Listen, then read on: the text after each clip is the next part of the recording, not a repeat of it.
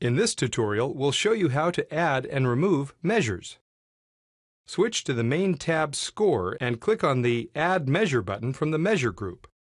A dialog will appear which will help you to add the desired number of measures.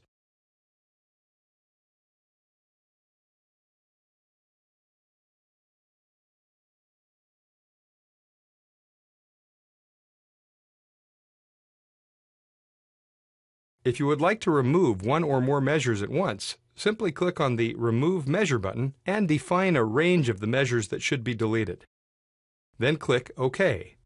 Please note that it is not possible to restore deleted measures.